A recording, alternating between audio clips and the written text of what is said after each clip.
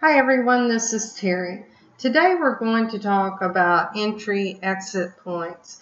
And the reason that this is important, when you use the shapes tool, you have the ability to look at the entry exit points.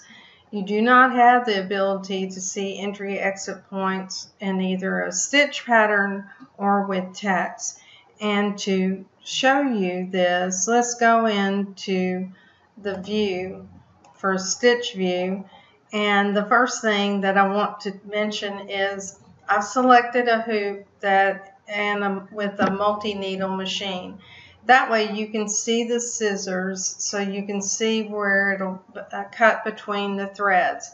This doesn't mean when you save the design that you can't save it in a hoop for your regular sewing machine like a Luminaire or a Destiny or whatever sewing machine you might have the, if you look at the stitch order, what we're doing is we're stitching out this rectangle. Then you see the thread is trimmed. It jumps over to the circle. It'll sew out the circle. The thread will be trimmed and then it jumps up to each letter. And just to show you that very quickly, we'll watch on the screen what happens. And I, I'm running through this very, very quickly so you can see that it jumped up to the E. All right, now what I want to do is let's go back to home and let's click on the selection and I want to go ahead and just eliminate the text so that we can get that out of the way and talk about these two objects. All right, talking about this again, let's look at what happens by moving the slider slowly. So it started right here where I have the little hand with my cursor, jumped over here and it starts stitching.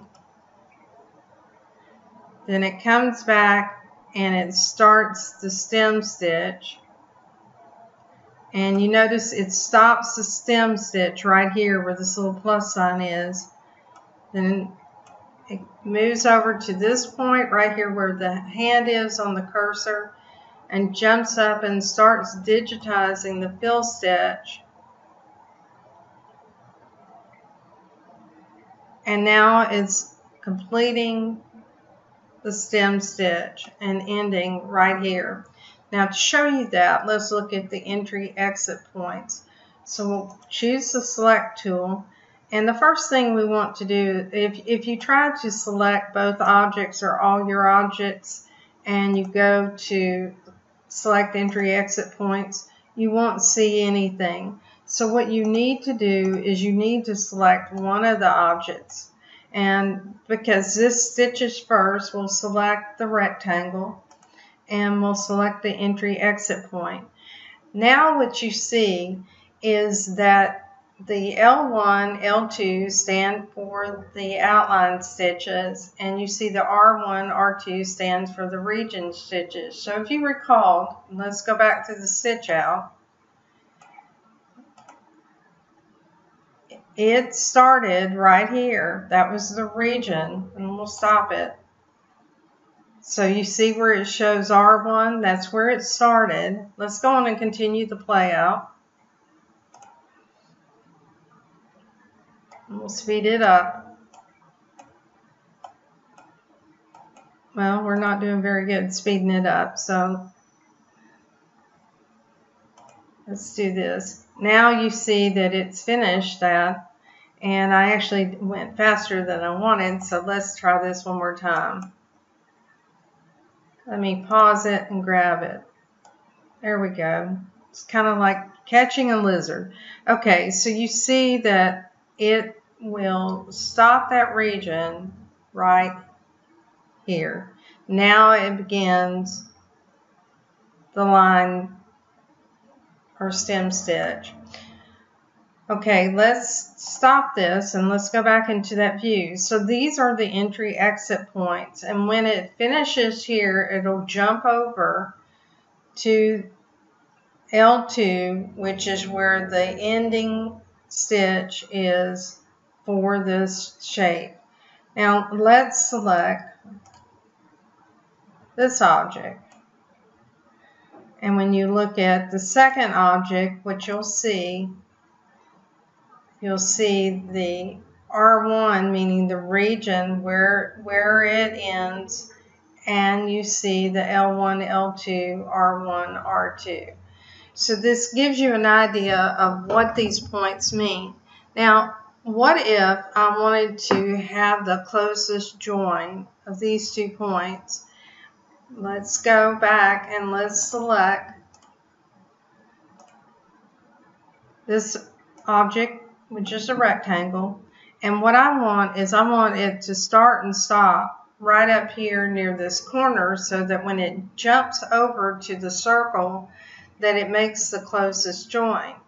That means that I need to move all my starts and stops over to this point. So let's do that. So we'll select this and what we need to do is we need to move them all. Sometimes it, it might help if you change your um, your view, turn off the stitch or hide the stitch for for instance for your outline but uh, you can see that I'm moving these more or less at at the same time and I want them to be on top of one another so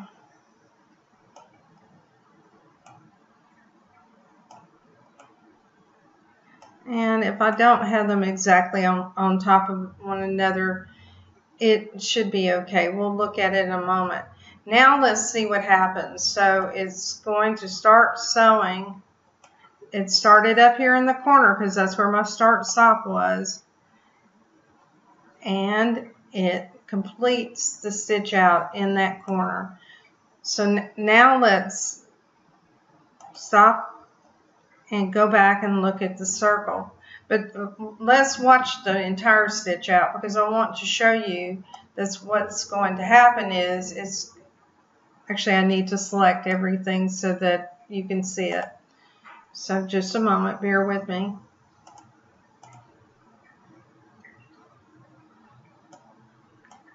Now we'll see all of the stitch out. So let's start the simulation and you can see that it jumped down here to the bottom. If I don't want that big jump stitch, what I'm going to do is I'll move the start stop up here. So let's go ahead and edit that. We'll choose stop. And this time we want to select, whoops, I grabbed the wrong thing. Let me go to select and I'll select that object. Now I want to go in and select the entry exit points. So I'll go ahead and I'll start moving them. So there's L1 and we want to move L2. Now we'll move R1 and R2. Now let's see what happens when we play this out. We'll go ahead and choose the selection tool and click off and let's go ahead and play this out.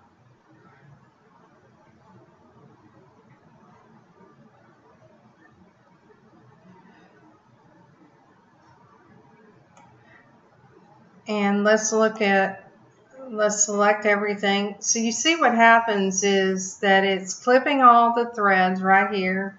There's a very small jump stitch between these two points and it's clipping its thread. And this is one of the things that digitize, digitizers try to achieve is they try to achieve connection points so that they don't have huge jump stitches. I remember years ago when I bought a, a FOF 7570 and it did not cut the jump threads. So you, you sew out a beautiful design and you spend, spend most of your time cutting these jump threads on a design. Now sometimes you cannot eliminate jump threads, but where you can, it's nice to be able to have connection points so that you can eliminate some of these jump stitches. Now let's talk about entry exit point and stitch angles. If you notice this design, I can tell just by looking at it that it's going to sew from the corner down to a point, then it'll go over to the other corner and it is ending right here. If you notice, you can see the little line of stitching where it marries up. So I know that it's starting right here in the center just by looking at it. Let's play it out and see what happens. So that's exactly what happened. So you can see that as it stitches, we'll speed it up. It gets down to the this point right here and it jumps over to this corner and it completes its stitch out. Let's stop it.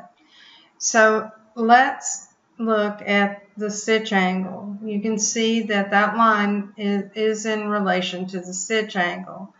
And there's, there's one thing to look at. We'll, I'll move it down to about right here and we'll see what happens. So that's 30 degrees. All right, let's go ahead and play it out again.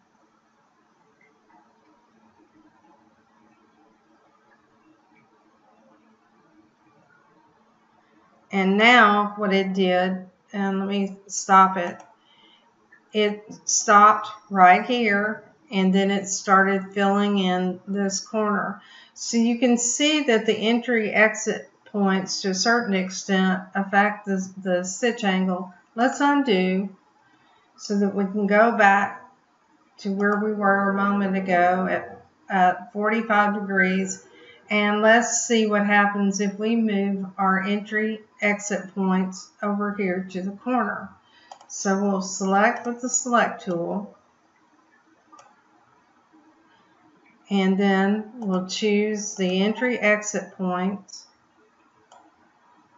and we're going to move them over around by this corner.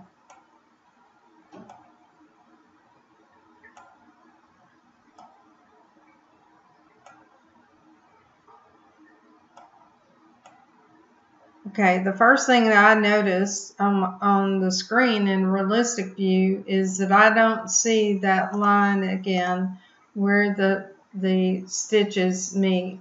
So let's play this out.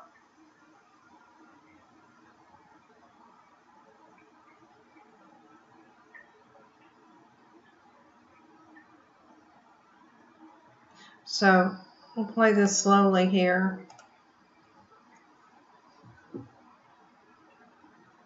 So you see what happened when we changed the entry exit with that stitch angle? We were able to control the appearance of that stitch out. And this really becomes important depending on the type of fabric you have and, and the surface. If, for instance, I mentioned if you were sewing on a hat on a curved surface, you need to start in the center and flatten down some of the areas of the hat where it joins and then you need to to adjust your stitch out to conform to the shape of that hat. If this was a patch, you wouldn't want to see that, that line where those stitches join. So this might be a good choice for you to improve the appearance of the stitch out. I hope this information has been helpful and I hope you have a safe and happy holiday and a happy new year. Thank you very much. If you have any questions, please let me know and please like and subscribe to my videos. Thank you.